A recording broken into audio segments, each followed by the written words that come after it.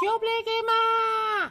If you didn't have enough of Cyberpunk, Neon Blight will fill in the void of emptiness you have if you're really really into the futuristic yet grungy story of a science fiction high-tech future.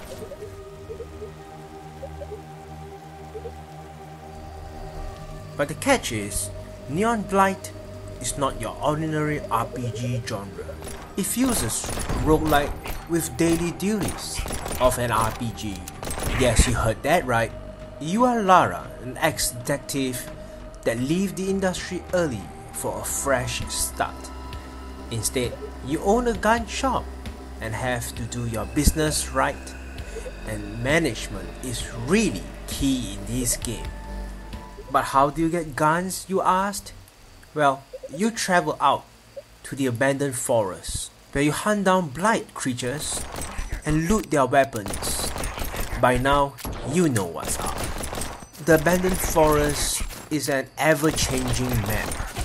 You will meet different types of blight creatures and also mini bosses and also the main quest bosses. That's a good blend of roguelike RPG with shop management.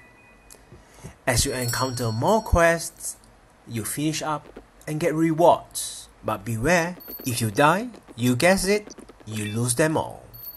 The sound design in the game is very engaging and feels very full when you unleash your firearm. The feedback you get is also relatively satisfying and also the music is very well paced. There's a lot of pixel art indie games out there these days, but Neon Blight stands out very strong amongst them. With a shiny bright neon light in the city, to the dark gruesome forest when you're out hunting.